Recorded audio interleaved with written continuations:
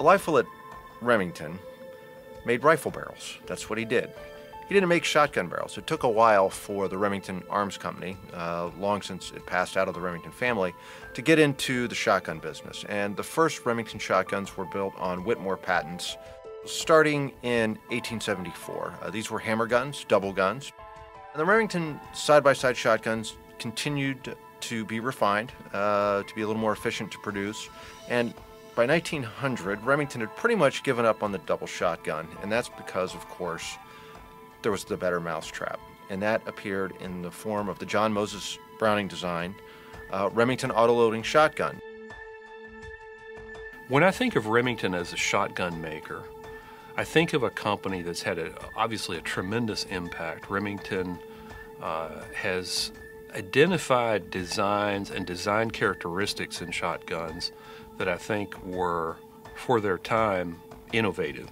Remington didn't always do the innovating, but Remington was seemingly able to identify innovations and trends that, that it believed were significant and then either get the rights to a design or refine that design internally.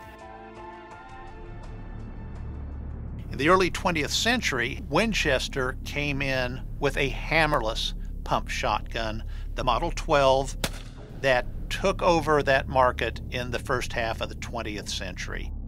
It was favored by hunters, by competition shooters, uh, law enforcement, military, all used this uh, very effective Winchester Model 12 repeater. And uh, in only 52 years, the Winchester Model 12 sold 2 million copies.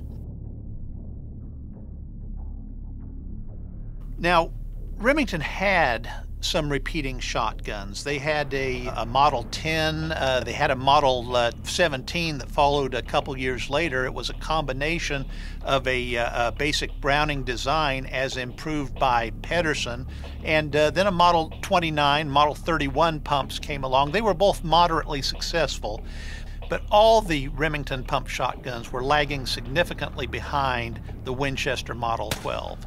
So after World War II, Remington uh, uh, got together and they wanted to come up with a pump action shotgun that would uh, give all the advantages of the Model 12 Winchester, uh, but could be made more affordably uh, and in a, a very, very reliable shotgun. And they came up with what was to become America's favorite shotgun, the Remington Model 870. The thing that the Remington Model 870 had going for it was, first of all, excellent lines. The aesthetics of the 870 are outstanding. But it, it was a good design. And what's interesting is they were able to, to as part of a larger plan for commonality of parts within the, the, the, Remington company, they were able to have some efficiencies in, in, in how springs and triggers and sears and all, all that sort of thing work together. And the, the good news about the 870 is even though it was easier to make than a Model 31, it was still a fabulous shotgun and there have been literally hundreds and hundreds of variants. New variants are introduced almost every year of the Model 870. But the thing about the 870 is it is extremely reliable and it is a, a really a, a, gun that has withstood the test of time because here we are 66 years after introduction and they are still selling as many 870s as they can make. Want to know what's happening at American Rifleman? Follow us on Twitter and like us on Facebook. We'll be right back.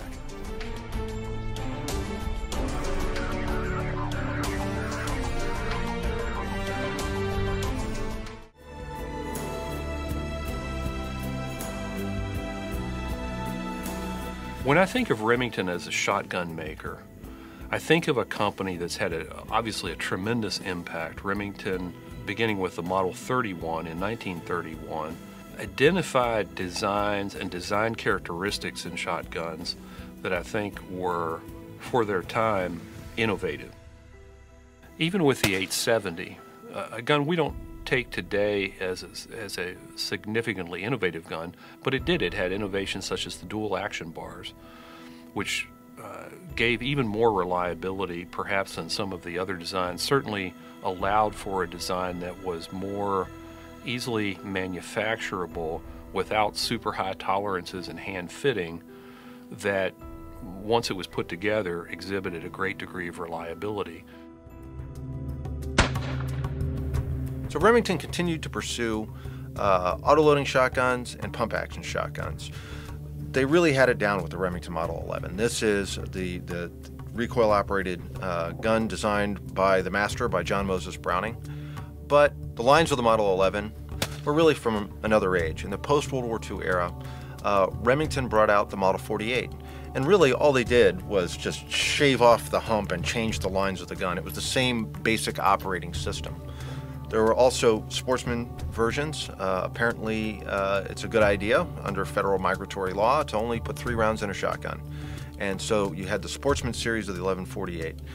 But Remington continued to try and refine the concept, and that's what leads us to the model 1158.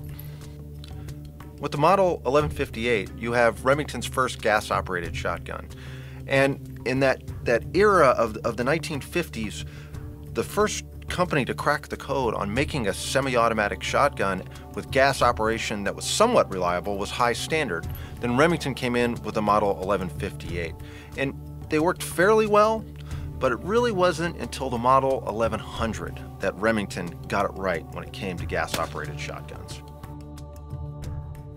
Now, of course, when I started hunting, the Remington 870 and the Remington 1100 were you know, they were the most popular shotguns in the world. And if you look at the numbers of them that have been made, more than 10 million 870s, more than 4 million 1100s, they still are. But one thing that I think is pretty neat is when you trace from them to the Remington shotguns that are, are the newest models today, the Versamax and the V3, and you can see kind of uh, how the development or how the evolution of those shotguns have gone. I was up at the Remington plant in Ilion, New York within the last year where all four of those different models are made. They all still have steel receivers, uh, no aluminum in those guns at all. They're made just as tough and as strong today as the uh, 870 was back in the early 1950s when it came out. And, and while the, the newer guns, the Versamax and the V3, have a lot of innovation to them, the one thing that that they've all got going for them is the durability and the reliability that you can really count on them when you're out in the field. We're here at Ilion, New York at the Remington factory. We're here with Mike LeMay. Mike is a senior design engineer. He's worked on the new V3 project. And Mike, tell us a little bit. I know you, you know, obviously you're well aware of the 870, the 1100, the Versamax. You've probably had a hand in, in working on a lot of those projects.